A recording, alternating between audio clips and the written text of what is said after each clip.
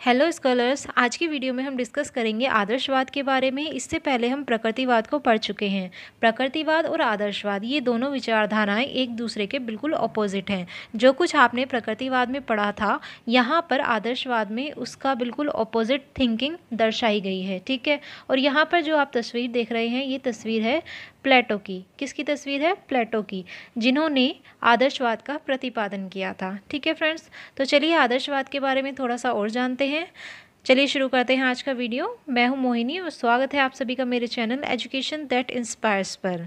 सो so friends आदर्शवाद के प्रतिपादक हैं प्लेटो। ठीक है, इनके अलावा आदर्शवाद के और भी फॉलोवर्स हैं जिन्होंने आदर्शवाद के, आदर्शवाद को आगे बढ़ाया। वो कौन कौन हैं? जान लेते हैं।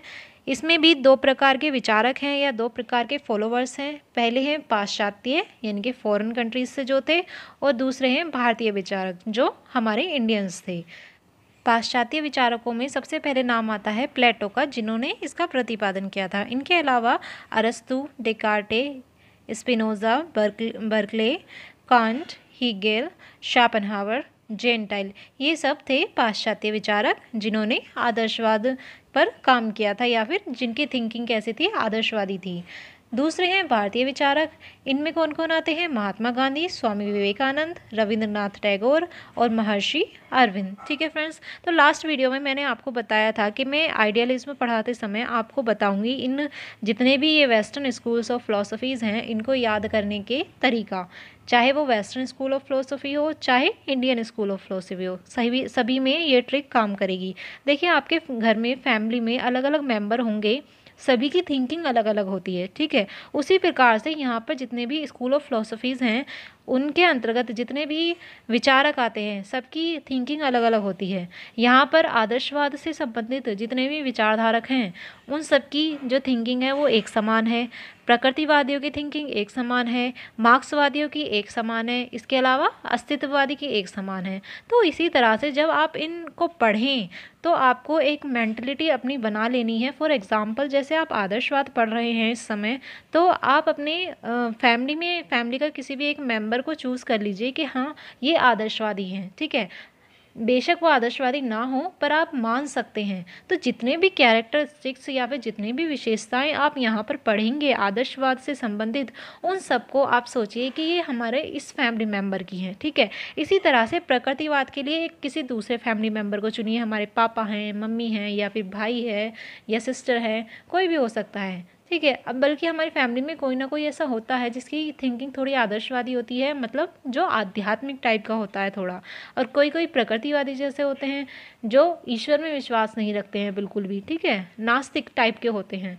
तो इस तरीके से आप इन स्कूल्स ऑफ़ फिलोसफीज़ को याद रख सकते हैं और ये ट्रिक काम करेगी हंड्रेड परसेंट काम करेगी, आप एक बार ट्राई करके देखिएगा, ठीक है।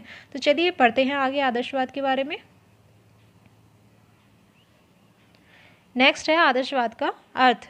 आदर्शवाद शब्द जो है, वो दो शब्दों से मिलकर बना है मतलब कि जिसे हम इंग्लिश में कहते हैं आइडियलिज्म ये दो शब्दों से मिलकर बना है। पहला है आइडिया और दूसरा है इज्म यहाँ पर एल वर्ड का जो यूज़ हुआ है, वो सिर्फ़ इसकी प्रोनाउंसिएशन को ठीक रखने के लिए यूज़ हुआ है, ठीक है? अदरवाइज़ जो दो शब्द हैं, वो हैं एक आइडिया और दूसरा इज्म इसमें आइडिया का अर्थ होता है विचार और इज्म का अर्थ है वाद।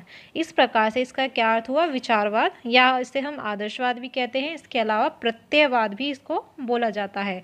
इसके अलावा भी आपको इसके और नाम मिल जाएँगे, जैसे आध्यात्मवाद भी हम आदर्शवाद को बोलते हैं। ठीक है फ्रेंड्स? सिंपल सा इसका अर्थ है यहाँ पर। ठीक है? आगे चलते हैं।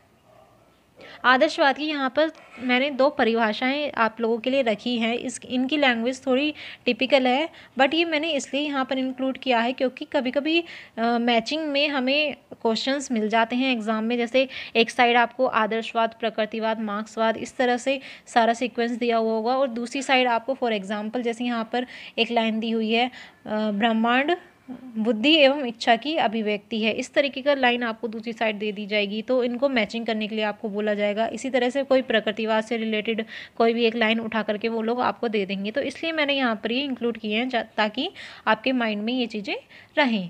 तो चलिए पढ़ लेते हैं। आदर्शवाद का सार यह है कि ब्रह्मांड बुद्धि एवं इच्छा की अभिव्यक्ति है। देखिए, जो आदर्शवाद है, वो पूर्ण रूप से विचारों पर आधारित है। सबसे ज़्यादा महत्वपूर्ण किसे मानता है वो? विचारों को मानता है। और विचार कहाँ पर उत्पन्न होते हैं? हमारी बुद्धि में, हमारे माइंड में, मस्तिष्क में। तो ये पूरा आदर्शवाद जो है, वो सिर्फ़ और सिर्फ़ व्यक्ति के मस्तिष्क पर, माइंड पर, यानी कि उसकी विचारों प्रत्यय प्रत्यय यानी कि कॉन्सेप्ट कहाँ पर उत्पन्न होते हैं? वो भी हमारे मस्तिष्क में उत्पन्न होते हैं। तो ये सारा खेल जो है, जितने भी आदर्शवाद है, सब ये आध्यात्मिकता से रिलेटेड है, हमारे विचारों से रिलेटेड है, हमारे जितने भी हमारे प्रत्यय होते हैं, उनसे संबंधित है। ये आप ध्यान में रखिएगा। चलिए आगे देखते हैं। ब्रह्मांड बुद्धि एवं इच्छा की अभिव्यक्ति है। ठीक है, जो पूरा ब्रह्मांड है, हमारी बुद्धि और सिर्फ़ और सिर्फ़ इच्छा, इन दोनों से ही इनका परिणाम है। ठीक है? विश्व के स्थायी तत्व की प्रकृति कैसी है? मानसिक है। विश्व का स्थायी तत्व इन्होंने किसे माना है? ईश्वर को माना है। स्थायी यानी कि जो जो स्टेबल है, उसको। तो उसकी प्रकृति नेचर कैसा है उसका? मानसिक है। ठीक है? नेक्स्ट है, भौतिकता की बुद्धि द्वारा व्याख्या की जा सकती है। भौतिकता, ये भौतिकता है, भौतिकता, इनके बारे में हम ऑलरेडी आपको पहले कह कई सारी वीडियो में बता चुके हैं, ठीक है? तो भौतिकता की बुद्धि के द्वारा व्याख्या की जा सकती है। I hope it is understood next देखते हैं। आदर्शवादी दर्शन के कई भिन्न रूप हैं, किंतु सभी के पीछे यही विचार है कि मन या आत्मा जगत की सार वस्तु है और सच्ची वास्तविकता मानसिक होती है। जगत की सार वस्तु किसे बोला गया है? मन या आत्मा को। चूँकि ये आध्यात्मिक है, आध्यात्मिकता में विश्वास रखता है, इसलिए ये मन और आत्मा को भी महत्व देता है। और सच्ची वास्तविकता कैसी है? मानसिक है। जैसा कि हम आपको बता ही रहे हैं, सारा माइंड का खेल है यहाँ पर, ठीक है? आगे देखते हैं। आदर्शवाद की तत्व मीमांसा क्या है? जिस प्रकार से हमने प्रकृतिवाद की तत्व मीमांसा पढ़ी थी, उसी प्रकार से हम यहाँ आदर्शवाद की तत्व मीमांसा पढ़ेंगे। आदर्शवाद के अनुसार तत्व कौन कौन से हैं? जो सत्य हैं, वो हैं विचार और आत्मा। इन दो तत्वों को आदर्शवाद ने सत्य माना है। ठीक है फ्रेंड्स? और भौतिक जगत को असत्य माना है। जो भी हमारा मैटीरियलिस्टिक वर्ल्ड है, उसको इन्होंने असत्य माना है। सत्य कौन है? विचार और आत्मा। या फिर प्रत्यय भी हम कह सकते हैं। इसके अलावा, आदर्शवाद के अनुसार सत्य की प्रकृति कैसी है? आंतरिक है। जो रियलिटी है, जो वास्तविकता है, उसकी प्रकृति कैसी है? आंतरिक है। जब हमने प्रकृतिवाद को पढ़ा था, वहाँ पर सत्य सत्य की प्रकृति कैसी बताई गई थी? बाह्य बताई गई थी। दो प्रकार की प्रकृति हमने पढ़ी थी वहाँ पर, एक भौतिक प्रकृति और एक मानव प्रकृति। तो प्रकृतिवाद ने किसे महत्व दिया था? भौतिक प्रकृति को। और ये यहाँ पर किसे महत्व देता है?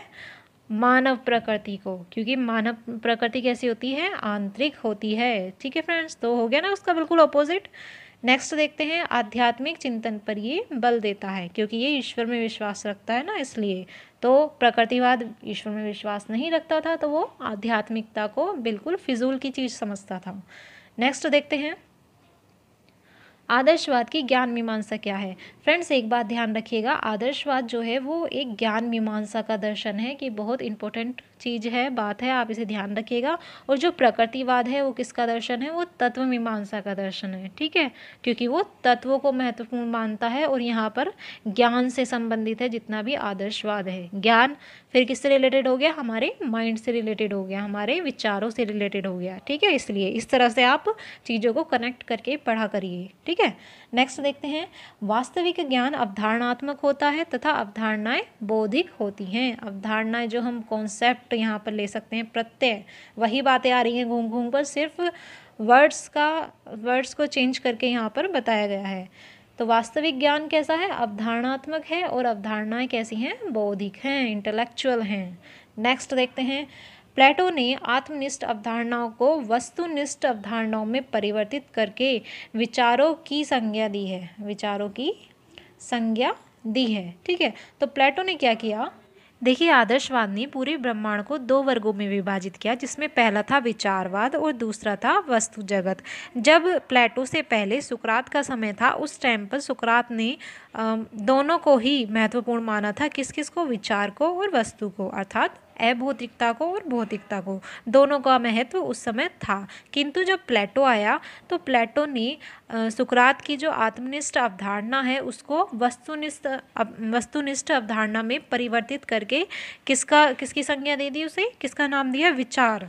वस्तुनिष्ठ अवधारणा में परिवर्तित कर दिया, आत्मनिष्ठ अवधारणा को और उसको क्या नाम दिया? विचारों का नाम दिया। तो आत्मनिष्ठ अवधारणा से यहाँ पर अर्थ है, इंद्रियों के द्वारा जो ज्ञान अर्जित किया जाता है, वस्तु जगत का जो ज्ञान है, उससे संबंधित है। ये किसने महत्वपूर्ण माना था? सुकरात ने। लेकिन प्लेटो ने आकर के उसको वस्तुनिष्ठ बना दिया, ठीक है? और उनको क्या नाम दिया गया? विचारों का नाम दिया गया।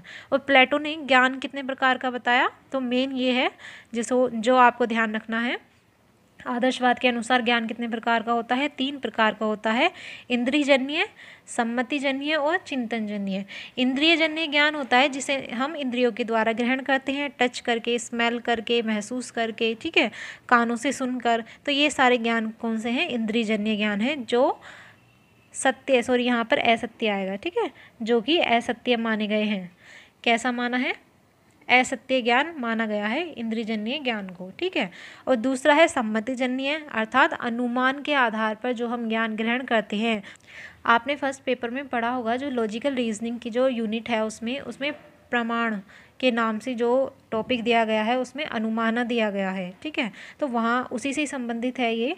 अनुमान, जो भी अनुमान के द्वारा हम ज्ञान ग्रहण करते हैं, वो कैसा होता है? सत्य भी होता है और असत्य भी होता है, क्योंकि जो हम अनुमान लगा रहे हैं, वो सच भी हो सकता है और गलत भी हो सकता है। लेकिन जो चिंतन जन्य ज्ञान है, जो हम सोच विचार करके जिस ज्ञान को अर्जित करते हैं, वो हमेशा कैसा होता है? सत्य होता है। ये किसने माना है? आदर्शवाद ने माना है, या हम कह सकते हैं, प्लेटो ने बताया है, ठीक है? तो नेक्स्ट आगे देखते हैं, आदर्शवाद की मूल्य मीमांसा। अब आदर्शवाद के अनुसार मूल्य कौन कौन से होते हैं? मूल्य यहाँ पर तीन प्रकार के बताए गए हैं, सत्य, शिव और सुंदर, या फिर सत्यम, शिवम और सुंदरम यहाँ पर नाम दिया गया है। इन तीनों मूल्यों को प्राप्त करने के लिए व्यक्ति को ज्ञान ज्ञान अर्जित करना पड़ता है। ज्ञान के द्वारा उसे किसका, क्या, कौन सा मूल्य प्राप्त होगा? सत्य, ठीक है? और चेष्टा या फिर प्रयत्न हम जिसे बोलते हैं, उसके द्वारा व्यक्ति किस ज्ञान को प्राप्त कर, किस मूल्य को प्राप्त करता है सॉरी किस मूल्य को प्राप्त करता है शिवम को, ठीक है?